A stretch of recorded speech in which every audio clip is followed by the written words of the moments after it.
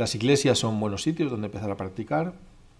Por pequeñitas que sean, pues siempre tienen vidrieras, detalles en el techo, ornamentos que, podemos ir utilizando. En los interiores eh, nos veremos obligados a utilizar un trípode, un cable disparador, levantamiento de espejo, un poquito la técnica que hemos estado viendo, a tomar referencias para centrarnos muy bien. Las líneas del suelo, pues mira, si cojo esta línea, va justo a la mitad de la puerta, pues aquí hay un centramiento bastante bueno. Y luego si tenemos permiso, pues a lo mejor nos abren zonas eh, que normalmente están cerradas al público para conseguir esa ganancia en altura, para posicionarnos bien en altura.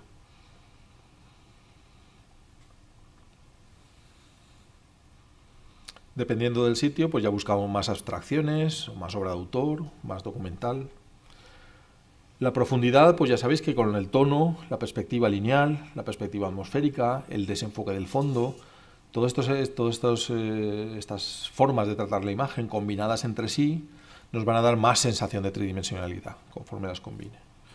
Tenemos la posibilidad del polarizador para los exteriores o para interiores si hay elementos de cristal, que eliminan los reflejos de las superficies no metálicas, refuerzan el contraste, eliminan la calima, bueno, todo esto siempre que estemos a 90 grados con respecto a la fuente de luz para su máximo efecto y de frente y con el sol en la espalda o con la fuente de luz en la espalda es como menos efecto tendríamos con el polarizador.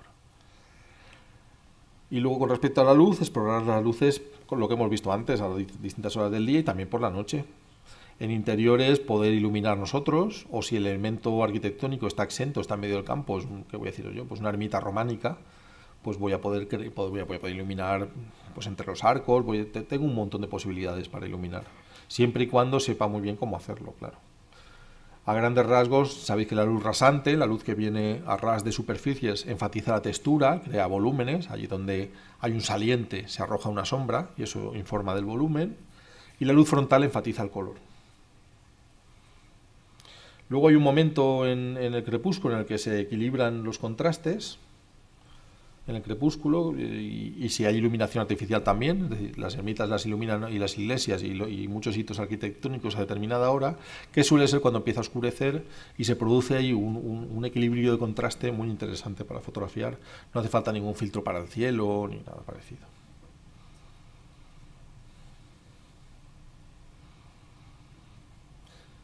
Estos ya con un teleobjetivo más potente y sobre todo buscando esos trocitos azules del cielo para combinar bien con el blanco. Aunque alguna nube de estas redonditas perfectas en su sitio tampoco hubiera venido mal. Los brillos de estrella, en las fotos así crepusculares con farolas y puntos de luz, si cierro mucho el diafragma, estoy, estoy haciendo, estoy creando esos, esos brillitos estrellados que tendrán la misma forma que tenga el diafragma tantas, tantas puntas tendrá como, láminas tenga el diafragma, porque al final es el diafragma el que está haciendo ese efecto. Pero también hay filtros que, que consiguen ese efecto, los filtros estos de brillos en forma de estrellita. Tenéis que saber que los filtros de gelatina, como tienen una densidad distinta al cristal, abren los puntos de luz. Entonces, si queréis que esos, esos puntos brillantes sean más grandes, lo podéis poner. Se hace mucho en fotografía astronómica, cuando uno fotografía las estrellas y quiere que, que, tenga más presencia visual, coloca un filtro de gelatina y eso abre el punto de la estrella y se ve con más presencia. Tened en cuenta el punto de vista de picado y contrapicado y para esto hay que tener muy en cuenta cómo está el cielo, porque cuando contrapicas la presencia del cielo va, va, a ser grande, va a ser tremenda y ahí hay que saber pues, si está el cielo como tú quieres o no. Luego además podemos conseguir un efecto de maqueta si utilizamos objetivos descentrables. Podemos eh, realizar un enfoque muy muy selectivo en una foto de paisaje y desenfocar mucho el fondo y el primer plano, de forma que aunque, aunque la proporción de paisaje es enorme, al espectador le va a dar la sensación de que está viendo como una pequeña maqueta, porque el efecto de profundidad de campo se exagera mucho y entonces el desenfoque enseguida aparece. Diríamos que estamos forzando los círculos de confusión. Es decir, estamos expandiendo los círculos de confusión y de ser un punto perfectamente enfocado, el siguiente que nos encontramos ya es un círculo bastante abierto. Entonces ya vemos un efecto de desenfoque grande.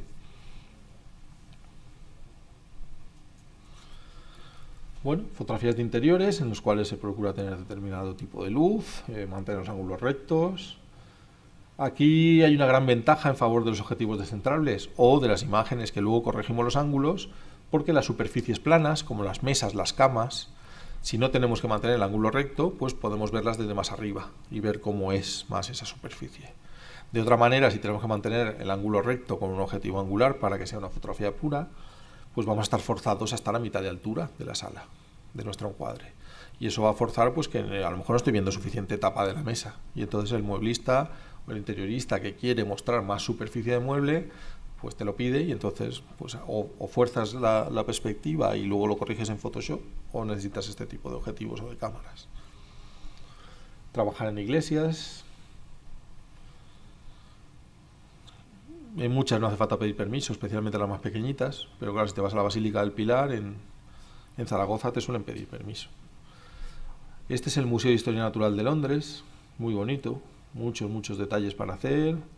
Y luego a niveles así generales me recuerda mucho los dibujos de Piranesi de las cárceles y estas cosas. Es muy complejo, con muchas líneas curvas y muchas eh, diagonales que se cruzan en la distancia. La verdad es que es un desafío para, y además un, gustazo poder estar allí haciendo fotos. Bueno, pues os voy a enseñar un encargo así muy por encima. Es eh, una editorial con la que trabajé, de nuevo Sanaya, y en un viaje, aprovechando un viaje a Melilla, pues nos piden hacer las fachadas modernistas de la ciudad autónoma. Eh, datan de 1912, 1908 aproximadamente. Y de los varios días que nos hemos desplazado para hacer el reportaje completo, eh, vamos a dedicar más o menos dos días a, obtener una muestra variada de fachadas, detalles. He puesto unas pocas, no os voy a martirizar con ello. Entonces, básicamente vais a ver imágenes o bien hechas en altura, es decir, en las cuales se ha pedido permiso a alguien para subir a su terraza, a su azotea o a su vivienda, o bien fotos de calle y en algunos casos se han corregido las perspectivas. Aquí una de las cosas más curiosas del viaje a, Melilla fue ese choque de las tres culturas. ¿no? Esto sería la capilla cristiana, que está dentro de un recinto militar, y aquí es la propia editorial la que hace la gestión de los permisos para que te dejen entrar. Tú llegas la puerta, dices quién eres, ya saben quién eres, y a qué vas, y entonces te, te, permiten el acceso. Un sitio, como veis, muy bonito, muy bien cuidado. Después eh, entramos en una mezquita, a ver cómo es. Yo tampoco había estado dentro de ninguna hasta que fui a Melilla. Y después en un templo judío, para ver también cómo, cómo son contrasta mucho ver esa profusión que hay aquí con la limpieza que hay en la, en la mezquita. La mezquita es un espacio, mientras que aquí parece que tiene que estar adornado y recargado. Eh, estas fachadas modernistas se, se agrupan en, en, unas cuantas manzanas, de forma que recorrerlas no es complicado. En cuatro o cinco calles tienes ahí una buena muestra. Pero hay un gran problema que es el, el, aspecto estético exterior. Eh, hay una profusión de cables enorme, eh, anuncios, todos, cada uno ha hecho allí lo que ha querido. Entonces se rompe mucho la estética y es muy difícil conseguir una foto de aspecto regular, que no tenga elementos disonantes. Está bien que hagáis algunas de estas y que digáis, mira, mira qué mal lo cuidan, o fíjate, están de reformas en esta casa y también se esfuerzan por mantenerlas adecuadamente pero en general, pues claro, las imágenes tienen que tener una regularidad y mostrar lo que te han ido a encargar. Luego he enderezado algunos ángulos, por gusto de hacerlo, y lo que me ha parecido, yo también, también lo hago de forma muy torpe, igual es esto, eh, parece que se nota, es decir, cuando yo abro los ángulos con Photoshop, si son muy exagerados y los corrijo, hay algo ahí que dice, esto, esto está aquí, esto queda muy raro. A ver si lo percibís vosotros también. Este no está corregido, este ya veis que he subido un tercer piso, un segundo piso, perdón, un segundo piso del edificio de enfrente, buscando eso, mantener eh, los ángulos lo más rectos posibles. Eh, esto ya es, ya es digital, esto está hecho con una 20D. Y lo único que te condiciona mucho, claro, a elegir el piso a que te subes.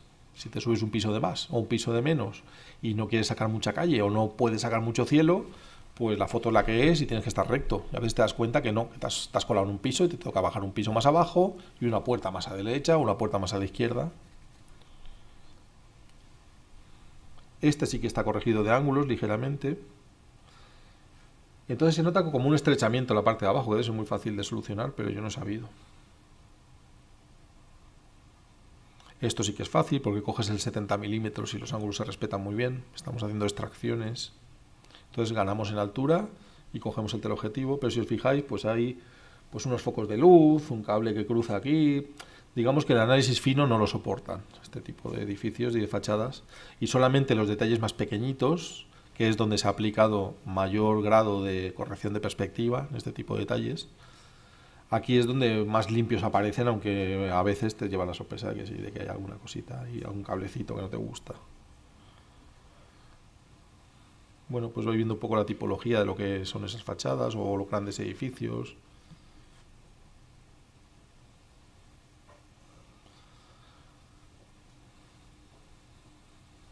Aquí no sé dónde me subí. Sé que estoy subido en algo, como a tres metros y medio del suelo, pero no sé dónde. Capaz que me subí una viga de estas, o no sé. Sí, a veces estás haciendo fotos y te das cuenta que te están haciendo fotos y está con el móvil. ¿Qué estaré haciendo yo para que todo el mundo esté aquí? Sí, he visto en un reportaje de fiestas en Pilar de la Horada, me decían, te hemos visto la tele, te hemos visto la tele. Y yo, ¿y quién me estaba a grabando? No, el de la tele, el de la tele, porque andabas arrastrándote por el suelo allí entras. ¿Qué cosas hace uno sin darse cuenta? pues este tipo a lo mejor de, detalles que complementen un poco todo lo anterior, que digan, bueno, pues hay ménsulas que soportan los balcones, o en la misma calle a lo mejor hay alguna escultura que tenga de fondo pues esas fachadas modernistas y enseñamos desde otro punto de vista eh, el mismo sujeto, el mismo concepto. Para los interiores eh, podemos elegir el día o la hora por lo menos, porque si vamos a primera hora de la mañana a hacer un interior y según la orientación que tenga nos entra luz de sol directa, va a ser muy difícil que podamos hacer fotos. Si tenemos esas líneas duras de sol eh, marcando en el suelo o en el techo o en, los elementos de las paredes, va a ser muy difícil. Entonces, si es un día de sol, el mediodía es el mejor porque la luz cae a plomo, cae vertical y entonces no entra dentro del interior, o bien los días nublados. Eh, con un angular en interiores intentaremos mantener la óptica perpendicular al suelo para evitar distorsiones, salvo que queremos, salvo que las queramos, o un objetivo descentrable que sería lo ideal. También hay que se apañar muy bien con una escalera, y con escalera para arriba, escalera para abajo, pues también. Pero está claro que si queremos contrapicar y corregir los ángulos necesitamos un objetivo descentrable. Yo he probado como cuatro objetivos descentrables tienen sus limitaciones, es decir, tampoco nos creáis que puede corregir cualquier cosa, pero claro, hace la vida del fotógrafo mucho más fácil. Estos son interiores en Venecia, en algunos museos que visité. Es muy curioso porque se ponen como locos cuando dices que van a hacer fotos. no, quiero hacer fotos. ¿Para qué eso? No, es que soy profesional. No, es imposible, tiene usted que rellenar mil permisos. Pero luego cuando entras al museo, pues ya no te siguen. Qué confiados son, ¿no? Entonces, bueno, te vas fijando las cámaras de seguridad a ver dónde están. Y luego, sobre todo, pues que hay gente muy ingenua, ¿no? Que les dices, ¿yo puedo hacerme fotos aquí? Sí, sí, sí. Entonces pones la cámara con el temporizador y haces así el tonto mientras está el temporizador y cuando ves que dispara te quitas y te vas a por la foto hecha, ¿no? Curioso la, la, percepción que tienen. Sí, es decir, que si vas a hacer el imbécil absoluto haciéndote fotos dentro de un museo, no pasa nada. Pero como vayas a fotografiar las salas, esto, esto no, esto, esto es pecado criminal, ¿no? muy curioso. Y luego las pequeñas iglesias estas que te encuentras salpicando camino con obra de Giotto, bueno, fascinantes. Aquí no hay nadie. Aquí entras, no sé, me voy a llevar el cuadro del final. Pues a lo mejor no te diría nadie nada, con tu cuadro y te lo llevas a tu casa. En los casos de fotografía del mobiliario, aquí sí sé de lo que hablo porque he estado tres años fotografiando mobiliario, pues eh, aproximadamente una vez al mes, todo el día completo. Y es un, es un buen reto para un fotógrafo porque te, toca iluminar superficies muy grandes. Eh, te toca iluminar pues una habitación que además has tenido que decir tú cómo distribuyen los muebles. Entonces, mire, pues yo quiero que aquella pieza esté allí, que esto esté aquí, la ventana no me ponga nada cerca. Es un esfuerzo de previsión y por otro lado, eh, a la hora de iluminar, pues te enfrentas a que son 50 metros cuadrados o, o 30 metros cuadrados que tienes que iluminar. Casi siempre llevamos una carta de color cuando hay textiles, y entonces hacemos la foto con la carta de color y luego podemos comparar y decir, bueno, vamos a ajustar lo que estoy viendo en el monitor con los colores reales de la carta de color para obtener una concordancia máxima con el color. Ojo a televisores y espejos, porque son muy fastidiados. Ya sabéis que si la luz incide de forma frontal a ellos, aparecen con un reflejo, aparecen blancos. Entonces, en cuanto inclinamos un poquito, en cuanto pasamos 5 o 6 grados la inclinación, pues ya no, no tiene ese problema de reflexión de la luz. Y los espejos pues hay que darles algo para que enseñen, claro, es un espejo, entonces pues tiene que mostrar algo. Entonces procuramos pues que haya una planta, una, una lámpara, algo que digas, mira, qué curioso que esté ahí justo. Todo esto está colocado, claro. Luego, si muchas veces completamos también, si queremos crear una atmósfera, para son revistas de muebles, por ejemplo, o de, casas, pues eh, complementar la luz, la luz eh, natural con luz artificial, con bombillas.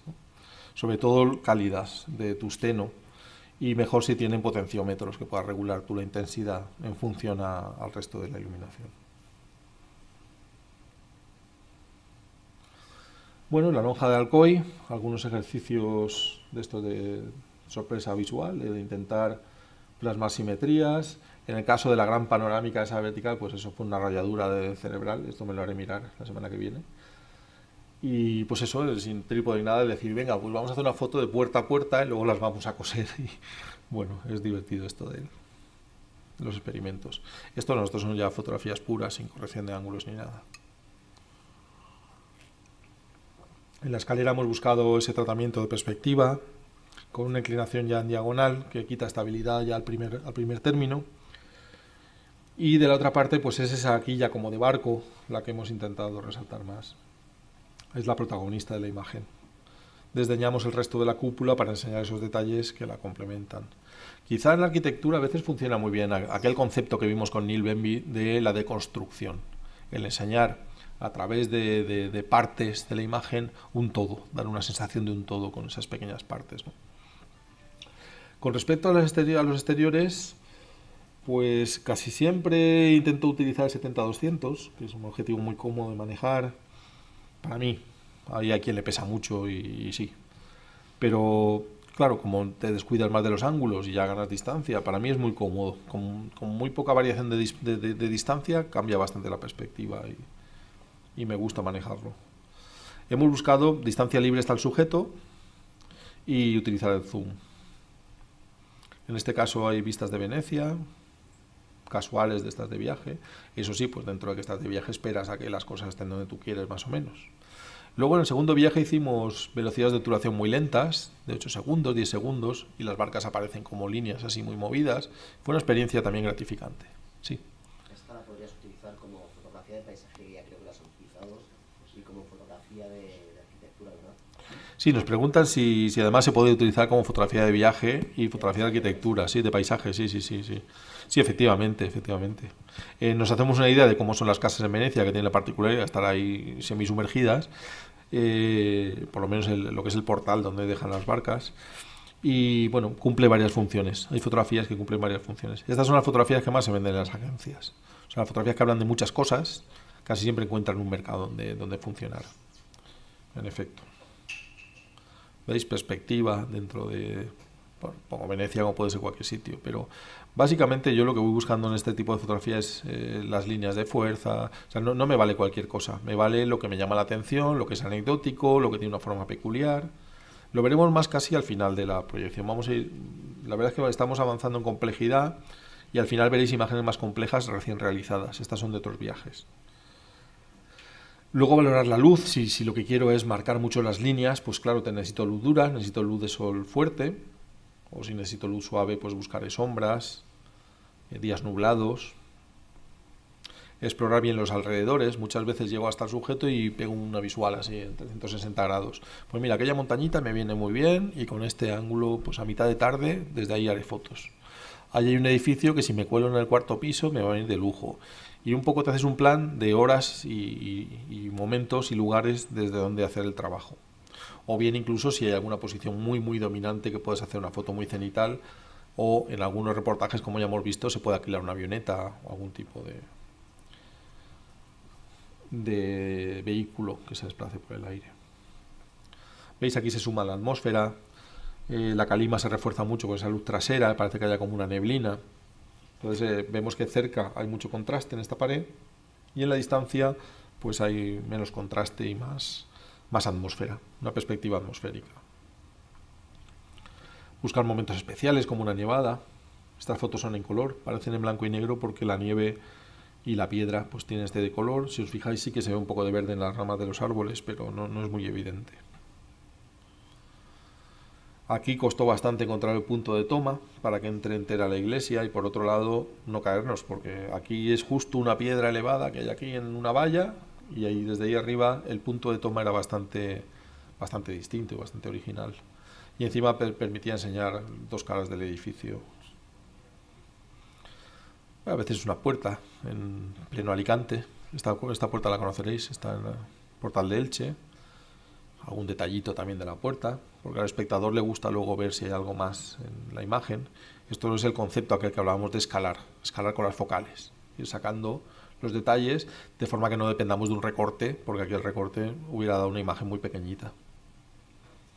Con respecto a los retoques, que no quería yo hablar de esto, pero bueno, a veces me toca hablar de esto. Venga. Pues, ¿cómo se corrigen esos, esos ángulos? Eh, bueno, yo lo hago de esta manera. Duplico la capa, edición, transformar, distorsionar, y todo esto aparece una imagen, ahora lo vais a ver en imágenes. Aparece, bueno, lo voy contando. Aquí vamos a duplicar la capa. He puesto dos guías, si os fijáis, en, dos edificios de los lados, yo esta imagen la he dejado tal y como está. A mí no me molesta tanto, pero bueno, hay quien sí, que hay quien, quien quiera los ángulos rectos o a quien se lo han encargado y tienen que ser así porque el estilo de la publicación es así. Bueno, pues entonces eh, duplico la capa como, como capa de fondo. Transformación, distorsionar. Cuando dices edición, transformación, distorsionar, te salen unos nodos exactamente 8 nodos en las esquinas y en el centro de la imagen. Y en este caso, como la corrección va a afectar a la parte de arriba, abrimos los dos nodos superiores hasta que vemos que hay una alineación. Esto produciría una imagen que a la vista de muchos estaría como achatada. El edificio quedaría como achatado. Entonces se suele hacer en el paso siguiente, veis que hay un estiramiento del nodo central hacia arriba, y entonces hemos estirado los edificios. Si os fijáis en la presencia de cielo, va a ser menos y los edificios se alargan, se estiran. Pues poco más. Digamos que la imagen resultante ya de aplicar el ajuste de niveles, aclarando los grises y contrastando, y con el retoque de corrección de ángulos se quedaría así. Ahí estás también. Fijaos que aquí eh, se ha pretendido buscar una distancia lejana, manejar un teleobjetivo, eh, nos hemos subido encima del techo del coche, pues con esas y con todas se ha quedado abierta. Entonces es una imagen retocada, así está identificada su nombre y, y hemos corregido esa deformación de ángulos para que queden rectos. Esta, sin embargo, no lo tiene. Hemos subido al quinto piso del liceo francés que está frente al Museo de Historia Natural. Hemos pedido el permiso en el momento. Y suerte que son unos corredores enormes de largo, llenos de ventanas, en los cuales tú te vas posicionando. Uy, aquí todavía no estoy bien centrado. Uy, aquí. Pero claro, esto no está en todos los monumentos del mundo. Y esta imagen no hubiéramos podido realizarla desde abajo con un objetivo descentrable. Es tanta la perspectiva que hay que corregir que no hubiera sido posible. Ah, bueno, esto es lo que os he contado ya que buscaba mantener los ángulos al máximo, se ha ganado distancia, se ha cogido un teleobjetivo corto, me subió al techo un coche y aún así ha habido que retocar los ángulos para obtenerlos rectos. Aquí ahora vamos a ir más lento, por eso me tarda un poquito en pasarla, porque esto que he metido en el PowerPoint son RAWs. El PowerPoint me ha dejado meter RAWs y como el vista previa muestra el RAW, vais a ver los RAWs pesan más, en esta proyección pesan bastante, pero es para que veáis que no es necesario muchas veces el retoque para obtener una foto de arquitectura decente. Vale, tarda un poquito, aquí viene. En la arquitectura yo creo que debe haber una mayor inteligencia por parte del fotógrafo y entonces debe buscar pues esos caminos visuales, esos ángulos agudos, el, percibir un poco por, por dónde vamos a circular, hacia dónde vamos a ir, esto también es un RAW. Ya a última hora de la tarde, antes de que empiecen a entrar las sombras, la luz un poquito matizadita. Ahí se ve un poco más contrastada lo que lo veo yo, pero bueno, se ve. Detalles y estaciones.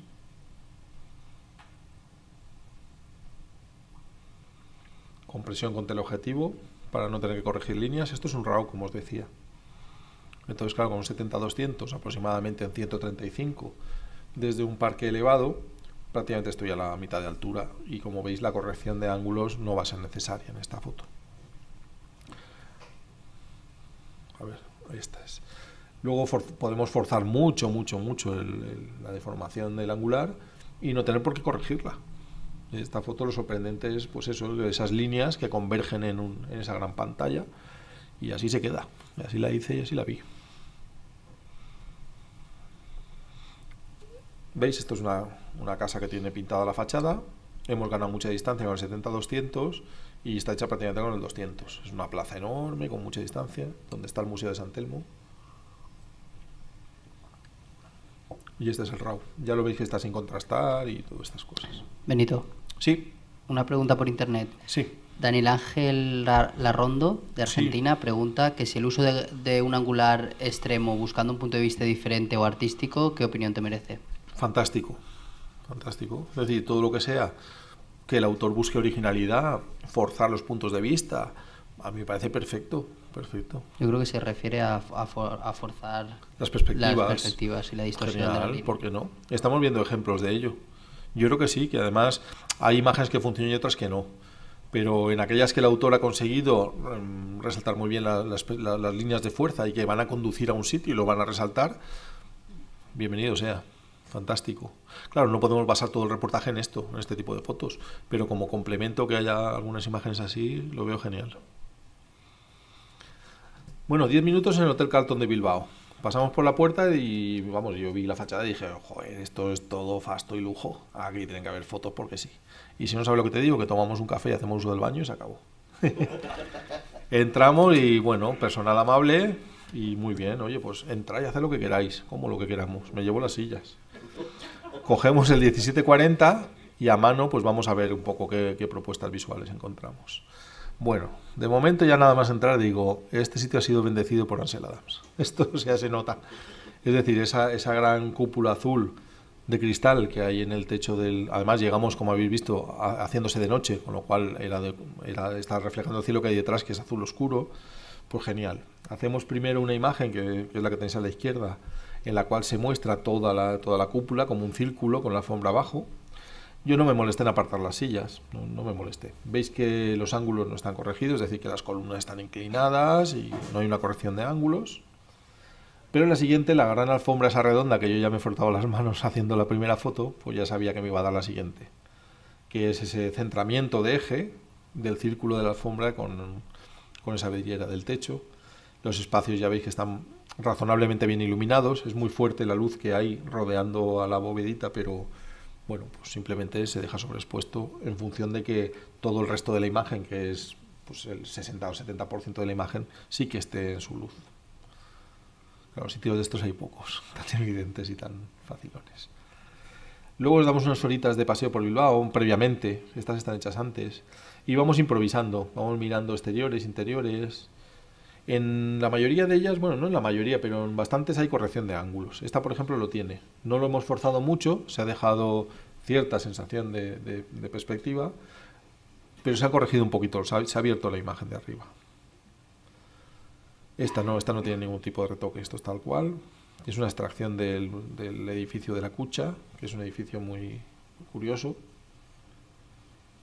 Fotos hechas a pie de calle. Luego entramos a un centro comercial que tiene estos bancos así muy graciosos, así de luz. Bueno, hacemos unos cuantos ejercicios más. Oh, sorpresa, dentro tienen una piscina. Eso que veis arriba, azul, es el fondo de una piscina que hay en el tejado, ahí, arriba, en la, planta alta. Y entonces ves a las personas como pasan nadando por ahí. Pues, para eso hay que hacer una foto, ¿no? Qué curioso. Vamos, que metes a alguien allí a ahogarle creyendo que no te está viendo nadie y hay 400 personas abajo del centro comercial viendo cómo la ahogas ahí en la piscina. Pues muy simpático. Bueno, simetrías en las entradas, las salidas, las escaleras, el hormigón, como... El suelo tiene un tratamiento así como de metal, que está curioso, que contrasta mucho con el negro, resalta mucho. Bueno, si sabemos lo que es con esta única imagen, si sabemos lo que es, estamos empleando un recurso de narrativa visual, que en este caso es el elemento que sustituye al todo y lo representa, la sinécdoque. Entonces, bueno, pues es interesante que si sois capaces de enseñar una antorcha que todo el mundo diga, ¡ah, está toda la libertad! Bueno, pues el todo, que es la parte que sustituye al todo, es la sinécdoque, que es un tipo de recurso de narrativa visual, como es la hipérbole, como es eh, la metáfora visual, en fin. Pues igual que en narrativa visual, lo veremos en composición todo esto muy ampliado. Bueno, pues lo pasamos bien, hicimos muchas fotos de cacharrico este. La caseta del perrito, como le llaman, porque hay una estatua de un perrito delante de flores. Mira, esta es la caseta que le hicimos. Muy vacilones. la verdad que lo pasamos muy bien. Bueno, son esas combinaciones de elementos que rompen en las otras formas, las que hemos ido buscando, combinaciones entre ellos, poco esas líneas sinuosas, o algún elemento que merezca ser tratado, digamos, a nivel general y a nivel de detalle, como estas burbujas metálicas. Fotos más descriptivas de ver cómo, cómo es el sitio. La araña esta. Bueno, el puentecito de Calatrava. Aquí sí que se ha aplicado corrección de ángulos salvaje. Aquí no, está tal cual. Y también funciona. Por la pregunta que nos hacía Daniel antes de, la corrección de ángulos, pues oye, a veces nos gusta así y si le gusta al autor, el autor es el que manda. O el cliente, si lo hay. a veces hemos buscado pues eso, esos pasillos visuales, esas... Bueno, es fotografía de arquitectura, tenemos que buscar cierta inteligencia en nuestro trabajo. Yo creo que tiene que ser así. Vale, no quería extenderme mucho en mi intervención, como siempre, para dejar al ponente cuanto más tiempo mejor para que exponga él y que tampoco se nos haga muy tarde. Nuestro compañero José Carlos hoy está de vacaciones, el tío que canalla. Nos ha mandado un vídeo sobre su sesión. Así que voy a dejar presentado con la cabecera a Duccio, que es nuestro invitado, Duccio Malagamba, invitado para fotografía de arquitectura.